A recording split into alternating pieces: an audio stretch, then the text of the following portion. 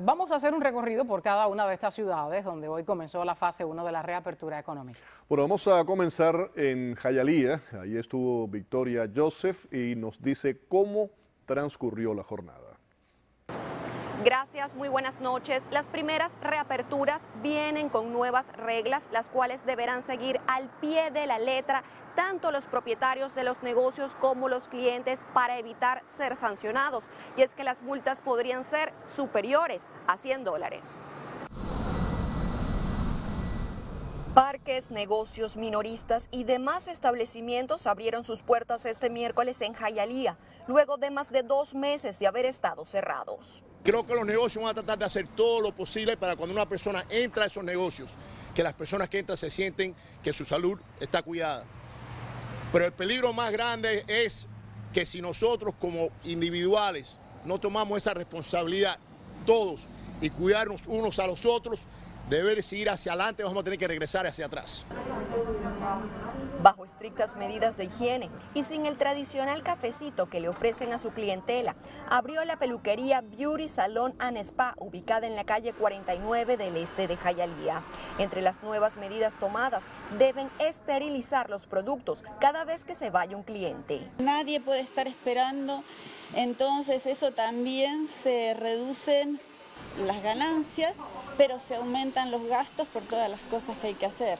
Acá lo que están sufriendo más la gente de la peluquería es que no se puede brindar café, porque esa es una de las restricciones que también nos pusieron, porque tienen que levantarse la máscara para tomarla. Así que para los cubanos eso fue, fue terrible esa decisión, más que la máscara en sí. Algunos abrieron sus negocios con un poco de temor.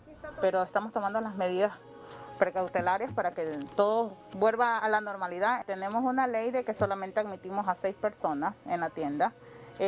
Nadie puede entrar sin máscara, todos tienen que estar protegidos, si no, lamentablemente no, no los podemos hacer entrar como parte del plan de ayuda económica para residentes y microempresarios. El alcalde Carlos Hernández entregó un cheque al primero de los beneficiados en la lotería, Café Trigo, ubicado en la calle 49 del este de Jayalía. Con la ayuda de la ciudad, esto es una cosa que nos ayuda a pagar la renta eh, este mes. Las ventas han sido impactadas porque eh, solamente la comida es para llevar y al ser la comida para llevar eh, ha bajado drásticamente a través de los dos meses y pico que estamos en esto.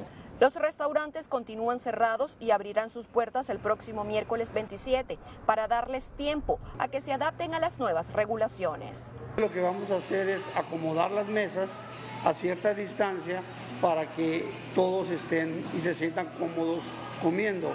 Asimismo vamos a tratar de tener mesas individuales para dos y mesas para familias de cuatro, no más de cuatro. Los adultos mayores siguen siendo los más vulnerables. Por ello, la alcaldía de Jayalía, en conjunto con León Medical Center, entregó 2.000 paquetes con artículos esenciales a residentes de una comunidad. Aunque pensamos a reabrir nuestros negocios, estas personas necesitan la ayuda constante, porque todavía ellos sí no pueden eh, estar juntos en los comedores. Eh, todavía las necesidades de ellos están multiplicadas 10 veces. El alcalde de Jayalía también informó que dependerá de la responsabilidad que muestren los propios ciudadanos entrar en la fase 2 del plan de reapertura, por lo cual insta a seguir todas las reglas. Para América Noticias les informó Victoria Joseph.